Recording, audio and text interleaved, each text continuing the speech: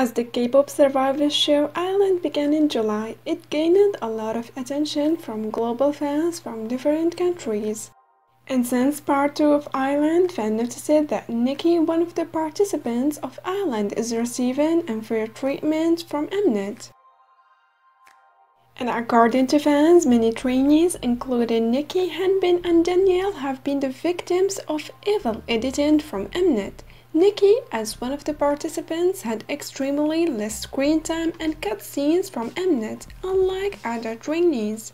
And fans believe that Mnet is not airing some scenes like how hardworking and how selfless Niki is, besides that Niki is also known as a global artist choice.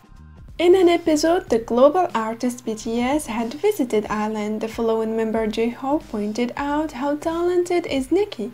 On another hand, when 17 come visiting I-LAND, the 8 also did pointed out how talented is he.